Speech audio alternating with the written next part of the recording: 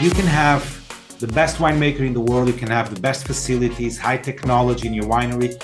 The truth at the end is that without good raw material, without good fruit, there will be no miracles. You know, you have to have good raw material to make good wines.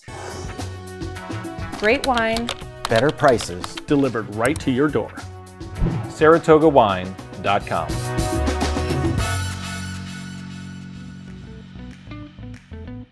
This is Charles Kirkwood from SaratogaWine.com, and today we have the honor and privilege of being joined by Miguel Roquette of Quinta do Crasto. Miguel, thank you for joining us. Thank you so much, Charles, and to Saratoga Company. It's privilege, and I'm really honored to be here uh, in the name of Crasto and all our, our family in the Douro. So, if you could give us a, a brief background, uh, first on you know on you and, and how you came into the industry. Portugal and the, the wine world is very small, especially in Portugal, that is a small country. My um, my second family name is Guedes, and I'm uh, cousins with uh, the Guedes family from Sogrape, which is the biggest okay. wine in Portugal, and also uh, with uh, Aveleda, which is the big property with Vinho Verde. My grandmother, she was born in Aveleda, so that was her property. Okay. Uh, also, my great grandfather from my mother's side was a very, very famous uh, port shipper uh, mm-hmm. in, in, the 40s and the 50s. And on my father's side, his uh, oldest uh, brother owns uh, Esporão, which is a big winery in the south in the Alentejo. I'm connected with with the wine business from since since my my my beginning. So I I took a, a PhD in marketing in Portugal. I worked at uh, first I worked with Sogrape uh, for about one year. Okay. Then I moved to um, I moved to Quinta do Noval, was where I was commercial director until okay. Quinta do Noval was sold to the um, AXA AXA Millésime Group. Mm-hmm. And after that, I went to I, I, moved to San Diego and I finished my degree in '94. When I came back, uh, that's when we mainly when we started our business. We produced our very first uh, dry wine from Quinta do Crasto, uh, our Crasto Douro Red, and also our Quinta do Crasto Reserva old vines. Mm-hmm. Um, and then at the time, we, you know, we the production was very small. The property was uh, was small. We had about 50 hectares planted at Crasto in those days. Uh, and the first vintage, the first production for dry wines, we we made approximately 25,000 bottles. So it was very, very small. Nowadays, we have three different properties in the Douro. We uh, own 220 hectares, so that's roughly uh, 500 acres of vineyards. And right now, our production is around 1.6 million bottles. Okay. And of course, uh, I always say this: we we were, we are, and will always be uh, port shippers. But yeah.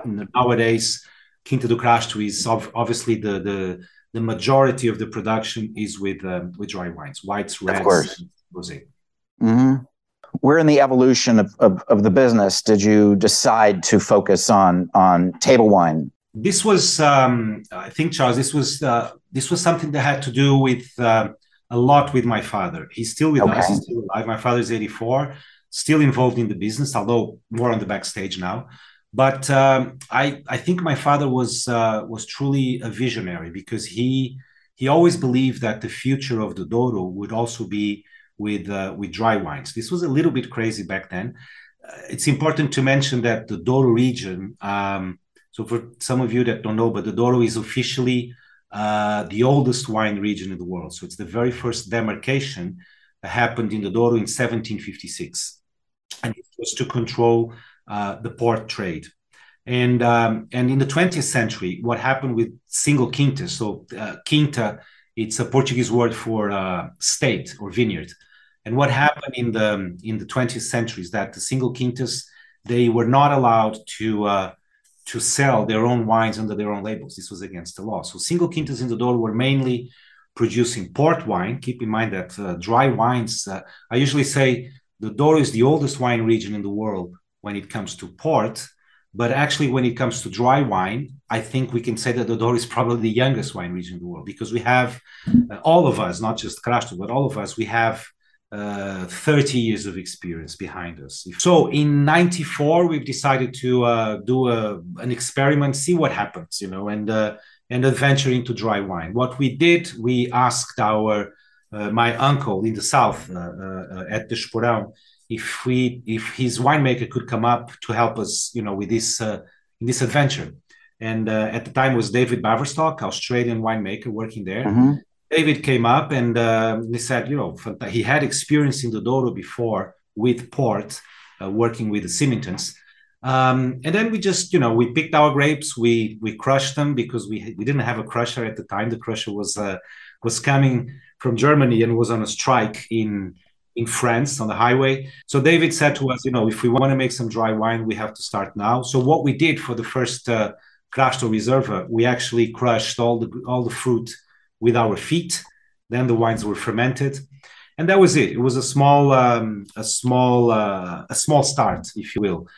then what I've decided to do was to um, well to go to the, the export markets. Actually, for the first nine years, we didn't sell a single bottle of Crasto wines in Portugal. So it was 100% export. And and I chose to um, to start our adventure, if you will, in the in UK market. UK is okay. extremely important. You have a lot of uh, influence. Oh yeah, huge press. It's a big market. It's connected to Portugal because of the port consumption mm-hmm. as well. And uh, and we've decided to open, you know, on trade, off trade accounts. We were just about everywhere. We were with Oddbins, Adnams, Majestics. Uh, we were at Selfridges, Harvey Nichols, you know, just about everywhere. And the results were were impressive because uh, no one knew about Douro wines. And when you know when they were trying the Douro wine for the very first time, they were puzzled with the quality. You know, we produced our very first single varietal Touriga Nacional in '95. Yeah, uh, we I, I, I managed to get some some samples to Jancis Robinson, she wrote half a page in the Financial Times about this wine, and this was something that no one knew. You know, uh, Douro was mostly known was known for port production. You know, dry wines in the Douro in the old days were always uh, second quality grapes. We would make some dry wine. So we we found we were very sure that the future of the Douro would also go through the through the dry wines, and uh, and we started, you know, step by step. It was a small uh, a small adventure, but it, it worked quite well. And nowadays we are in uh, 54 different markets around the world. Oh wow! It, it, things changed a lot. Things changed. oh, lot. most certainly. What inspires you the most? You know, whoever has been in the Douro will understand this. The Douro is just a, a, magical place, and that's the. Uh, I think my uh, inspiration comes from there. I we just we have a our office. Our main office is in in you know Porto, so close to the ocean but we are one hour and a half uh, drive away. So every time I go there, you know, we just it, it's different, you know. And the Douro is one of those uh, places where you have uh, it's still very protected. It was declared as World Heritage in 2001. So mm-hmm. it's still very, very protected. In that sense, it's still very wild. You still have a lot of wildlife and nature, clean air. Um, and it's just uh, it's just there every time you go up there it's just fantastic can you give us a brief overview of uh, the douro as well as the layout of crasto portugal is as you know we're at the end of the, the iberian peninsula most of portugal is uh, we have a coastline that runs for about 700 kilometers from the north all the way to the south atlantic then we have our islands madeira and uh, and the azores Mm-hmm. And Portugal is quite small. Portugal is uh, 10 million, 10 million uh, uh, total population. And the Douro, so Douro River, Douro is a river. It starts in the north of Spain. Uh, it runs for about 900 kilometers all the way to the city of Porto. Mm-hmm. And uh, within the demarcated region, so the Douro region, uh, officially, in terms of total area, we have approximately 250,000 hectares round numbers, we're talking about 500,000 uh, acres. This mm-hmm. is the total area. But vineyards planted around 44,000. And this is very controlled. So we're talking about uh, roughly uh, uh 100,000 acres planted in the, in okay. the vineyards throughout the region. And the Douro is divided in three subregions uh, uh, with three tributary rivers Lower Corgo, Upper Corgo, where Crasto is. And then as you go further east towards the Spanish border, that's what we call uh, Douro Superior. Okay. Um, so it's uh, just for you to have an idea, Charles, just to give you that, I think this could be helpful. When we talk about 44,000 hectares, just to give an idea, this is uh, one third the area of Bordeaux that we have. Mm-hmm. So upper upper Bordeaux and lower Bordeaux. So it's one third smaller than Bordeaux. And uh, this has been very controlled. So nowadays, it's very difficult for you to extend the vineyards in the Douro. You need to get licenses, and in order for you to plant here, you have to remove vineyards from other places. So it's not. Oh wow! Is, I think this is important for the the quality of the wines and mm. and everything that happens in the Douro. Douro is uh, it's the new uh, the new thing. It's the new hidden secret. Uh, everyone wants to come to the Douro. Also, Portugal. Porto has been voted.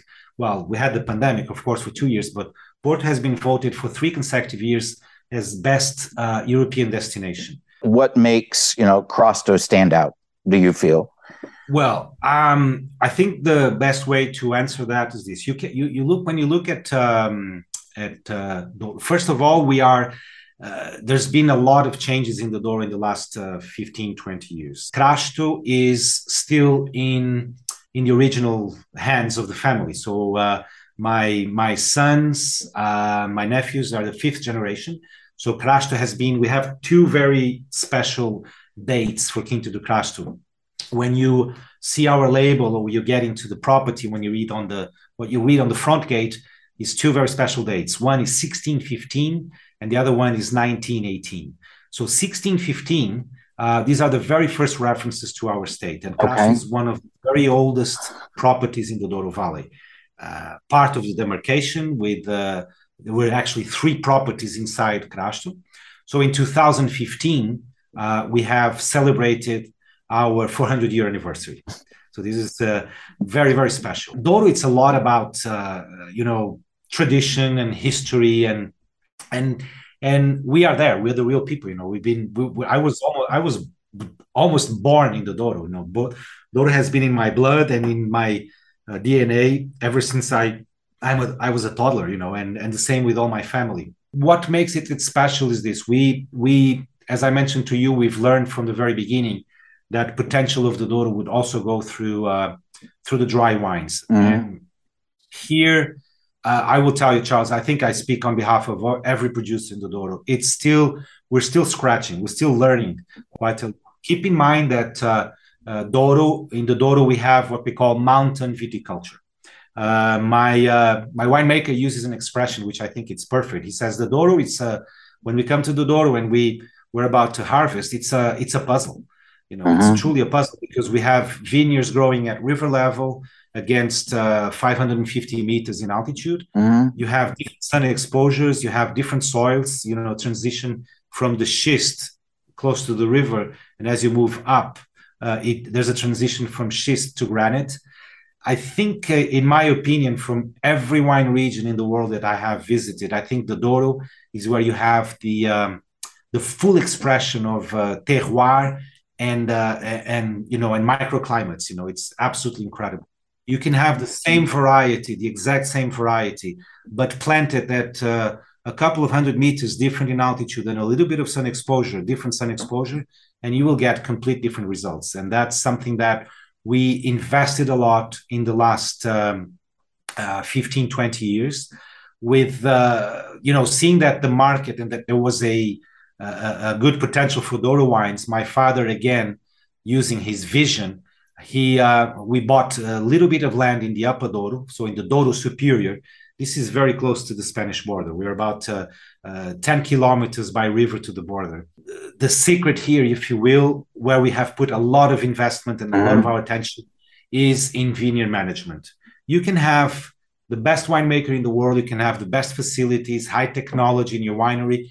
The truth at the end is that without good raw material, without good fruit, there will be no miracles. You know, yeah. you have to have good raw material to make good wines. And this is where we this is where we invested a lot in the last 15, 20 years. Right now, as I mentioned to you, we are completely self-sufficient in terms of fruit. So we have uh, 220 hectares. We don't buy grapes or juice from other producers. This is extremely important um, for you to achieve what we think it's the most important thing for our wines, which is to have a consistency in quality for us, what we want is when when a new vintage comes out, we want uh, our consumers and wine lovers to open the new bottle, smell the wine and taste the wine, And what we really want is for them to go, yes, it's Crasto again. What vintages are you particularly fond of of Quinta do Crasto from the last two decades? I would say that since uh, beginning of this century, I I would have two or three vintages that for me are are absolutely phenomenal. Although I have to say, you know, Charles, that when we when we produce wine, we always say the best vintage has always been the last one. You know? Yes, everyone would tell you that. But in fact, in the Douro, um, funny enough, the, the the last three vintages, you know, 17, well, even even 17, 18, and 19, they have been extremely solid, you know, mm-hmm. and it's very, very. They change quite a lot. 17, uh, it was very odd because 17 is where we when we started our harvest but my favorites would be, without any doubt, 2001. It's considered to be, for me, it's one of the most solid vintages. It's absolutely fantastic, mm-hmm. and this is something that uh, with ports, you know, I I I would have to say this. You know, of course, we had vintage 2000. You know, and 2000 was super important because it was the the decade, the the century, and the millennium. So it had to be declared as vintage port and, and so on. But I think I consider 2001 to be an outstanding, extraordinary vintage. Uh, again, 2011 for me is also one of those years that uh, has been remarkably good. And I would say another one that I would pick could be either 2005 or could be also 2017. Okay. Uh, among that. So, but these they change. They change quite a oh, lot. Oh yeah. And, and this is another thing, uh, uh, Charles. Of course, with with port, it's a bit different because, as you know, vintage port will last forever. Uh, we have uh, a lot of old stocks in in our library, but vintage port has a has a very fun evolution. You know, when it's very young, it's very live, very fresh, full of fruit, acidity, and all that. And then vintages they tend to shut down for a few years. Uh, they sort of what we call a, a, dummy stage for a few years, and sometimes you think the wine is is is going off or is dying, and suddenly the wine comes back again. So this is the evolution for vintage port. When it comes to dry wine, we uh, it's the same story. Again, we are we are still understanding and we're still learning the, the the true aging potential of our dry wines. Can you discuss the current releases that are available on the market today? Right now, we are with uh, in terms of dry wine. So the whites are usually very the release one year after the vintage, so they're very very young. Mm-hmm. So we have the a, a, new project also in the Douro Superior, which is called uh, so the wine is called Crasto Superior. Okay, because it comes from the Douro Superior. So that we have the Crasto Superior right uh, white. Uh, we're now in the 2021 vintage, and this is a blend of uh, Viosinho and Verdelho, 50-50. Again, okay. indigenous indigenous white port varieties. Mm-hmm. But this is um, barrel fermented I think it's a fantastic wine. Oh, Price yeah. quality stunning, and I think it's it's again it's a wine that what it's uh, a pleasant surprise is that as a white wine it's holding extremely well in the bottle. So it's a wine mm-hmm. that you could keep for another five, seven, ten years without any problem. It keeps its freshness and acidity. So this is really, really good. Mm-hmm. From the from the red side, so we have Crasto Douro Red, our standard wine. This is produced with um, with fruit from the three different properties but it's mainly uh, mainly a blend of uh, obviously um, Touriga Nacional, super important as a blend. Uh, Tinta Roriz, which is known as uh, Tempranillo in uh, in Spain, and known as Aragonês in the south of Portugal. Uh, and then we have many many others. We have Tinta Barroca, Tinta Francisca, uh, Tinto Cão, uh, lots of different varieties to play with. But these are blends that we do for the Douro Red. We have our uh, what I what I would call my uh, our most famous wine, which is the Reserva Old Vines.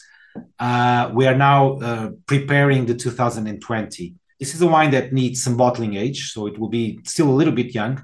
But the old vines, the fun thing, as the name mentions, when we when we say old vines, you can immediately assume that we're talking about uh, uh, mixed plantings, so mixed fruit. It's fruit salad. Okay. In our Reserva old vines, we have anywhere from uh, uh, 30 to 40 different varieties. And oh, wow. for us, it's impossible to tell you uh, the percentages because mm-hmm. it's, it's completely mixed. Reserve is a wine that has an enormous aging potential. It's fantastic.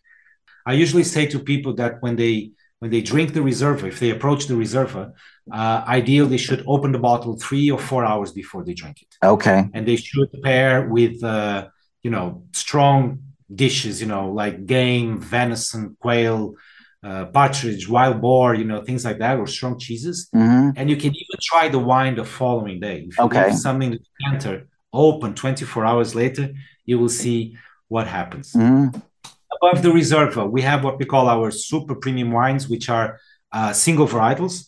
So every year we we produced 100% Touriga Nacional, 100% Tinta Roriz, and since 2016 we've been adventuring with uh, Touriga Franca, which is another variety that uh, that works extremely well as a single varietal. Also important as a blend.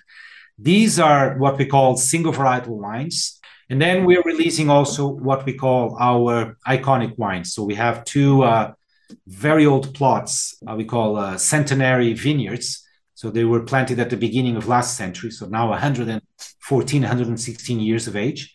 Uh, one of them, which is probably the most famous one, it's our Vinha Maria Teresa. So vineyard means vineyard. Uh, Maria Teresa, as you can guess, it's the name of, um, of a girl, and this she was the first granddaughter of my great grandfather. And this here, it's, it's Vinha Maria Teresa. All this part here, you see. So this is the way uh, uh, old plants are are planted in the Douro. They are horizontally planted, so you can see here that we have a much higher density per hectare, but the yield is very very low. Our Quinta do Crasto Vinha Maria Teresa, which is our iconic wine, released only when the quality is really there. But we can tell you that we have officially uh, 54 native varieties mixed in that vineyard. So, and again, Charles, this is something that uh, people don't understand. Say, how is this possible? I say, well, that's the way. That's the way the vineyards were planted in mm-hmm. the past, and I, we consider this to be. We consider the old vines to be our our most precious uh, asset in the Douro. It's absolutely unique. There's mm-hmm. no other wine region in the world that you will say this is a 115 year old plant uh, with uh, 50 with 54 different varieties. You know, it's, it's, it's absolutely unique. And then we have another one that it's very small, but it's called Vinha da Ponte, which means vineyard of the bridge. There's a Roman bridge very close to that vineyard. Uh, it's 1.9 hectares, so it's ridiculously small, but it produces wines of outstanding quality. Uh, one thing to mention, uh, Charles, that we didn't say at the very beginning, and I think this would be interesting to for people to know. Uh, so quinta, as I said, it's the Portuguese word for vineyard or state. And the name uh, Crasto comes, comes from the, the Latin castrum, which means a Roman fortress. So the Romans the Romans were settled in this. Yeah, you can see the the shape of our property. As you can see, it looks like a, a volcano. You see, and we have, we have vineyards on the on the east part and vineyards on the left part. So when you look at this picture, you can imagine why the Romans would choose to uh, to settle this as a Roman fortress. They would be at the very top of the hill with 360 degree view, and uh, and that's it. It's a, uh, that's the origin Roman fortress. And then apart from that, Charles, we also have uh, vintage ports. So we're currently with the 17 and 18 vintage, which are both high high quality. And towards the end of this year, we are moving. We also have a colheita port. So this is a, a dated a dated uh, uh, a dated tawny, if you will. We're currently in 2003, which is outstanding, and already some uh, uh, barrel and aging and bottling aging. And uh, for this Christmas, so towards uh, October, we're going to launch. Um, it's very small production also, but we're going to have 10, 20, 30, and 40 year old tawnies from Okay.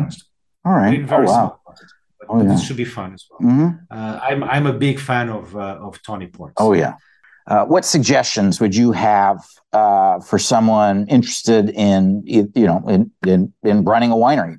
I would say my my my first advice would be um, you have to be patient. Mm-hmm. to be patient. Uh, and it depends. If you're starting from scratch, you have to be really patient because when you are obviously planting new new vineyards, this will take uh, will take a long time. It's uh, yeah. uh, very interesting to see how uh, a certain variety behaves when it's very young. So usually when you when you do uh, new plantings, I would say that for the first three four years you don't you shouldn't expect anything to come out of there because they're very very young.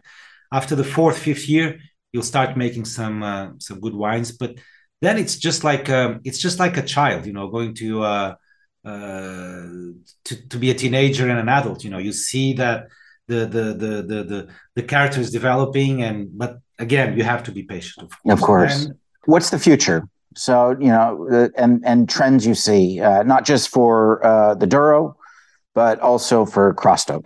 With our current situation, with 220 hectares, so roughly five 500 acres, we we don't want to um, to grow anymore. So I think we've we've reached the sweet spot in terms of production and and you know and volume that we want to make. Uh, it's it's still I think in terms of winemaking and vineyard management, like I said before, honestly, I think this is still a learning process for all of us. We're still understanding and under and, and learning every day different things you know aging potential uh, the future i think it's very bright in terms of the douro and also for Crasto for two reasons. First, because the Douro wines they will be in the in the top. Uh, I have no doubt about that. We have quality. I think we have price. Uh, we have good value for money, uh, of course, and and then you can also have the very very high end wines that you can can achieve as well. Do you have any tips for people that may want to visit? Right now, we are what we call the high season, so yeah. summer. So I would say that uh, the high season for us, it's actually extending now. So it will be uh, from May until late October. It's super packed. Mm. The first advice would be if you, if anyone wants to come, my very first advice would be to uh, to take care of accommodation as soon as possible. So don't don't think that you're going to book for next week because it's it's not going to happen. Mm-hmm. It's that's that's one of the things. There's great places for you to stay, but limited because there's you know the Douro is not exploding because of the World Heritage. Mm-hmm. That's the first thing. Uh, the second thing that uh, that I would say is, you know, we have amazing infrastructures. Douro is, like I said, mountain viticulture, so we have winey winey roads. Mm-hmm. Uh, but the best way to get around, I would say, you know, if you want to go up just for one day or maybe two days, you can take the train. Super fun. We have outstanding infrastructures, very good highways, so you can get everywhere very easily, safely. Uh, you are in the safest country in Europe and the third safest country in the world. What is one of the most memorable wines you've had recently? In the last uh, 10 years, I became uh, a very big fan of uh, Rieslings from Germany. I think these are some of the most amazing wines in the planet. So I'm, I'm collecting a lot of Rieslings now. I think one of the best bottles that I have that I had in my life. This was quite some time ago. It was in um, in Vancouver, British Columbia.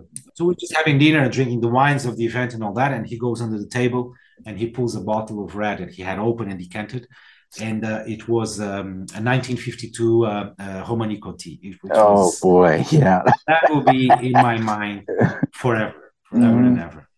Well, Miguel, I, I really, really appreciate it. It was, you know, very enlightening conversation. Um, I've really, you. know, really enjoyed learning your background as well as the uh, background of, of Crasto, your family's estate, uh, and the Douro. Thank you so much. Thank you, Charles. I, I also want to thank you on my on my behalf, on behalf of my family and and Crasto for this opportunity. If you enjoyed this interview and would like to learn more, please don't forget to like and subscribe. And if you have any suggestions on interviews or topics you'd like to learn more about, please don't hesitate to leave a comment.